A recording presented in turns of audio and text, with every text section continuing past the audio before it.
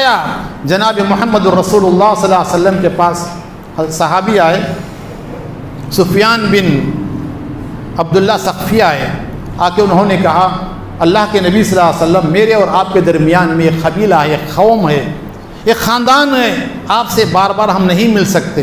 وہ چار مہینے جس میں جنگ نہیں ہوتی ہے جس میں لڑائی نہیں ہوتی ہے، ہم آپ کے پاس آ سکتے ہیں۔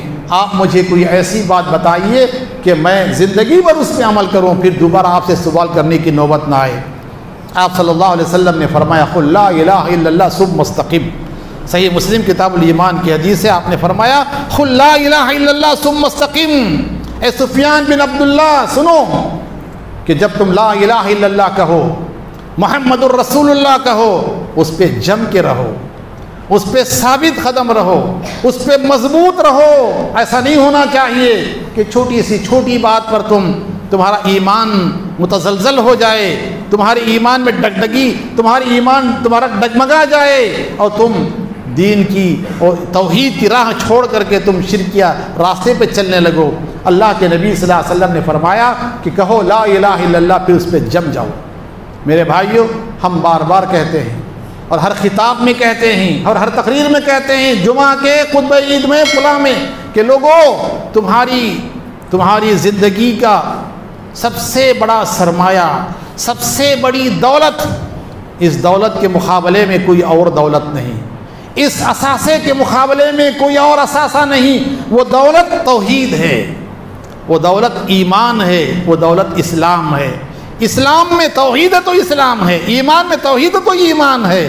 اگر توحید نہ رہی تو پھر مسلمان کیسا، ایمان کیسے، دین اسلام کیسے؟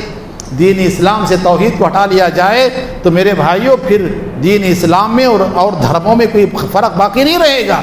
اس لیے ہم کو اور آپ کو چاہیے کہ ہم ہمیشہ اللہ سبحانہ و تعالیٰ پر جب ہم ایمان لے آئے ہیں تو ہر معاملے میں اپنے ایمان کی حفاظت کریں۔ شیطان آتا ہے مختلف راستوں سے۔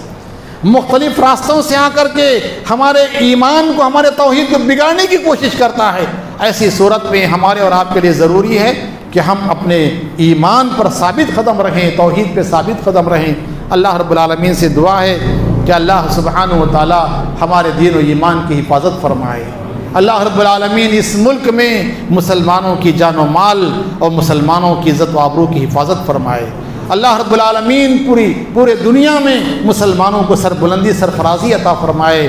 اللہ سبحانہ و تعالیٰ مسلمانوں کو عزت سے نوازے۔ اللہ تعالیٰ مسلمانوں کو نظر بد سے بچائے۔ اللہ تعالیٰ مسلمان مسلمانوں کو امن و امان عطا فرمائے۔ صلی اللہ علیہ نبی و آخر داوان الحمد للہ رب العالمین۔